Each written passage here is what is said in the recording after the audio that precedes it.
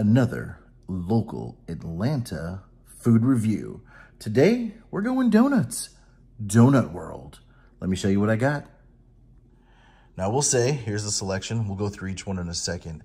The donuts at this donut shop, very plain, nothing crazy, nothing special. I, I like the crazy and special, but I said, you know what? I'm going to give it a try. So first, we got just a plain strawberry donut. Now, it's late in the day. They didn't have much. Had to get what I could get. Here we got the Boston cream on top. We've got the jelly on the bottom. One cool thing I will tell you, they don't pre-fill them. You tell them what you want, they take the donut and they fill it right there. So the filling is fresh, nice and cold. Then we've got the blueberry up top and the red velvet on the bottom. I'm a huge fan of blueberry donuts. Now, I'm not gonna eat them all, but I am gonna eat the Boston cream because I, I really was excited that they filled it there. So um, like I said, I'm, I'm more of a flashy donut guy, and these are kind of just plain, but if they taste good, then let's see. Here we go, Boston cream. Look at this, you can put a little dot on top.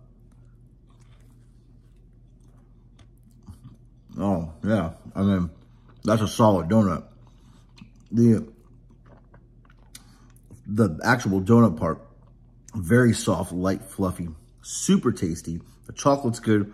There's a good amount of cream in there. And the cream, like I said, it's cold. I just got these. It's a mile down the road. Very cold, uh, super tasty.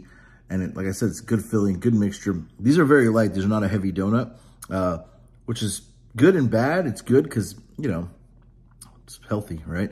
Bad because I could probably eat this whole box in two seconds. But Donut World, check them out.